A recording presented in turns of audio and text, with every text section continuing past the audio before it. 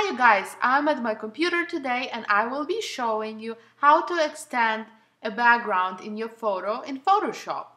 Why you might need it? Well, let's say you took a picture, then you looked at it and you realized that you cropped it too tight and you might need to extend it a little bit. Or let's say that the background in your actual scene was too short and you need to extend it in post-production as well. So let's get started. First of all, I would like to say thank you to one of my VIP students from New Zealand, whose name is Mark Watson, for providing this beautiful image. I really like it. I think the scenery is gorgeous. The composition is interesting. Posing is fun too. The only thing what bothers me, I think it's a little bit off balance because there is a lot of space on our right, right here, and there is almost no space on our left. And I think this image could benefit from some space on the left. In this video, I would like to show you how to extend your background. And this method will depend on the image the simpler the background is, the more effective this method will be. But this background doesn't seem to be too complicated and we will give it a try. First of all, you will need to uh, use your crop tool. And crop tool is right here or it's letter C on your keyboard. Knowing those shortcuts uh, with your keyboard can really speed up your Photoshop work. And if you don't, don't remember them, you forget them, you can al always click on the tool and the shortcut is right here. So we choose our crop tool or click letter C. And as you can see, the frame around the image appeared. All we have to do is just drag this frame out with our mouse to the point we want the background to be extended and if we are happy, we just double click. And this way we got background extended. But of course, we just got a blank right here. If we are standing the background, it's just gonna pick the uh, background color from this palette. Now we will be using tool which is called rectangular marquee tool and it's right here or it's letter M on your keyboard and this tool will help us to make a selection. And we will make a selection of this extended area right here. And then we will go to Edit, Fill, and then Content Aware Fill. And the other settings we just uh, leave it default mode at normal and opacity at 100. And click OK. Ta-da! And as you can see, Content Aware Fill did pretty good job on extending uh, the background, mountains, grass, sky. But the only thing is, it added one extra person. So we will have to remove this guy from here. Sorry, but we will have to remove this guy from here. And we could do it with maybe with the same method as we did before using um, this rectangular marquee tool. But usually um, it's more effective if you choose smaller area to fill in. This this is why I would like to show you another tool which is lasso tool which is letter L on your keyboard. And with lasso tool you can make a little bit more precise selection all you have to do is just draw around the area as you can see I draw around the guy.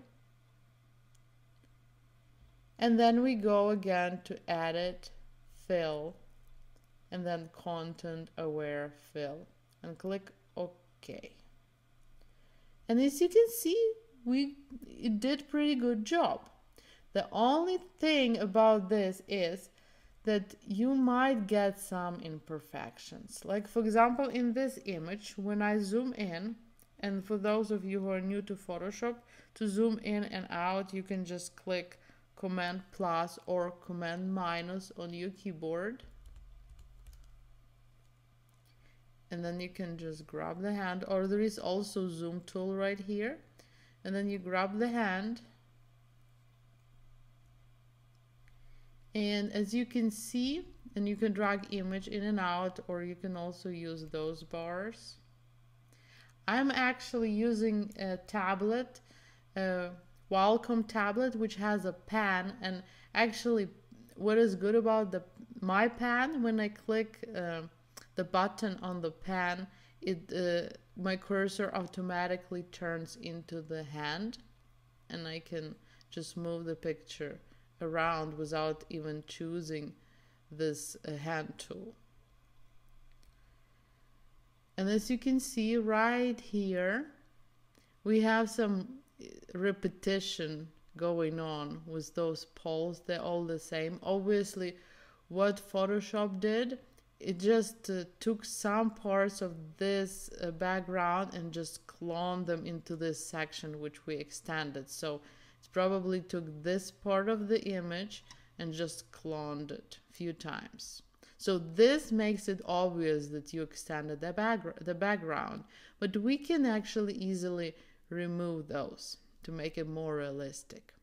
And to do so, there is few different methods, but one which is really effective, if nothing else works, this one will work. It's a little bit more work than other tools, but this one, and I don't know if you guys watched my video about removing things from the picture. In this video, I'm showing more tools, how to remove things from the photo. But in this case, I will be just using a clone stamp tool, which is letter S, and I will be sampling some parts part of the mountain and to do so I just click my option key and on PC I think it's alt key oh I don't know why it's what did I do it zoomed out I need to go back and I click my option key and I sample from this part of the mountain and then I paint over this repetition area and I'm just showing you guys this really, really quick. But you got the idea. And we can even paint like over this part and maybe... You can just keep on sampling from different areas depending what you want to clone. And as you can see, this makes it already more realistic. We don't have this repetition right there. Let's see if all other part. As you can see, you can see like a line here where the stitching was happening. You can also deal with it with this tool. You just kind of paint it over. Maybe, as you can see, this little thing was cloned out. Yeah, and I think it looks pretty good now. Just go kind of over some parts. Usually when you do the stitching, you have to check, uh, you know, the this line uh, between this transition between old picture and this new area. That's where you can have some problems. So it looks pretty good. So what do you think? I think now this picture looks better. It's more balanced. I hope you learned something new today. I hope this tutorial is useful for you and it's easy to follow. And enjoy.